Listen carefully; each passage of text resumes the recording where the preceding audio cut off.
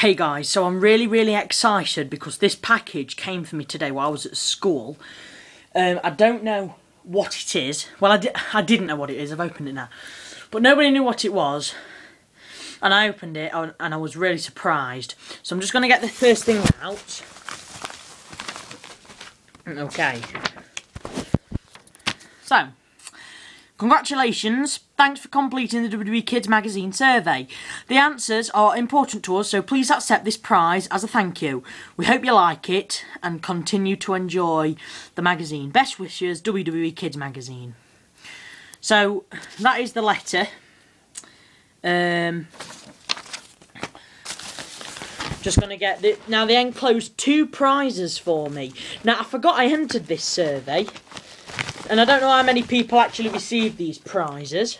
But the first one was I um, received the latest edition of the WWE magazine. Now I do already have this, but never mind. Um, you know, never mind. So that's what I received. Now this is absolutely fantastic. Um, they didn't just send me that. Oh no, they also sent me a figure. Now um, it was one of these six that they sent me. Either Booker T, Mark Henry, Chris Jericho, Christian, John Cena and Zack Ryder. And it is John Cena. Now, it's not ideal. John Cena, you know, got a couple of John Cena figures. But I haven't got this one. And I haven't got one in his green attire. So it is quite different. So I'm really happy. I wasn't expecting this at all.